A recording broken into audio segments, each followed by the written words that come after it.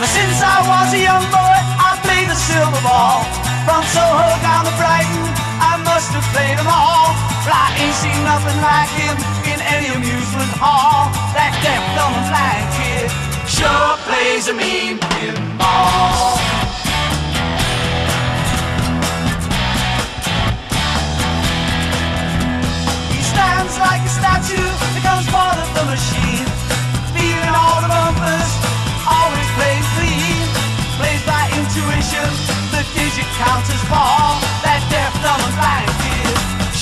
Plays a mean pinball.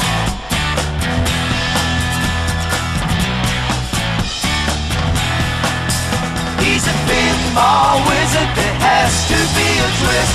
A pinball wizard's got such a surprise.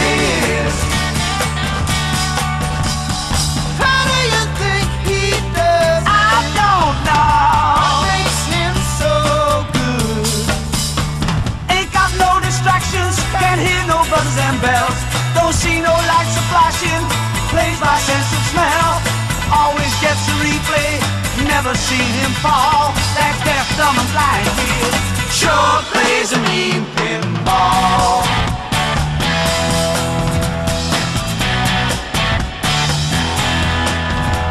I thought I was the Bally table I just So this event started uh, in Roseville, literally on somebody's lawn. Uh, he told people, on this day, you can bring your pinball machines, set them up on my front lawn, and we can all have fun all day long, maybe a couple of days. And it went from there. So this is the 17th year in this location, but it's been going on much longer than that.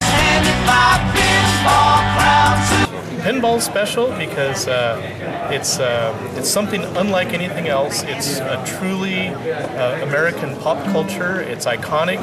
Um, it's unique.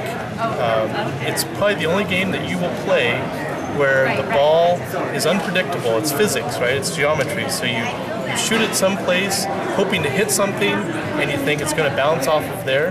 So you know, if you go play a video game, you have to figure out how somebody programmed it. It's the same almost every time, very little randomness. With pinball, it's probably 60% luck, 40% skill. So you can have a really good game and a really bad game right next to each other, and uh, you know, it's unpredictable. So now all the money we raise goes to help charities in Sacramento and here in Dixon. Do you know the charity it goes to? Yeah, the Dixon Teen Center, which is here in town, and then also the Boys and Girls Clubs of Sacramento area. They're the major benefactors. Last year, I, uh, we raised a little over thirteen thousand dollars. That's the magic of pinball, man. Any kid can just walk up and they know immediately what to do. You know, just push the buttons. You know, you just go to work on the flippers, kind of figure out the game as, as you as you're experiencing the game. You know, a lot of times on these newer machines, the lights will direct you on what to get. You know, if you see a you know like a row of lights flashing or one target that's flashing bright red, that's pretty much what you want to hit. But that's the great thing about pinball. You kind of discover it as you play, and anybody can just walk right up to it and immediately know the objective. It's a lot of fun.